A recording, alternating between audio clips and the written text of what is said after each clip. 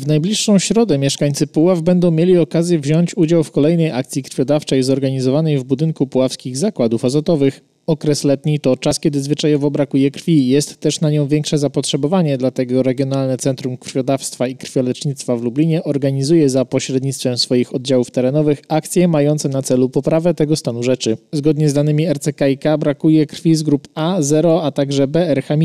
Rejestracja dawców w najbliższą środę będzie trwała od 8.30 do 13.00. Na akcję należy zapisać się wcześniej, wysyłając SMS-a ze swoim imieniem i nazwiskiem pod wskazany przez organizatora numer. Miejscem poboru krwi będzie sala konferencyjna nr 16 budynku Dyrekcji Zakładów Azotowych w Pławach przy Alei Tysiąclecia Państwa Polskiego. Krew podczas akcji będzie zbierana na rzecz dzieci cierpiących na choroby nowotworowe w województwie lubelskim. Okazją do zorganizowania honorowego poboru krwi w Puławach jest przypadający 14 czerwca Światowy Dzień Krwiodawstwa. Podobne akcje w najbliższym czasie odbędą się także w innych miejscowościach naszego województwa, m.in. w Piaskach, Wojciechowie czy Snopkowie.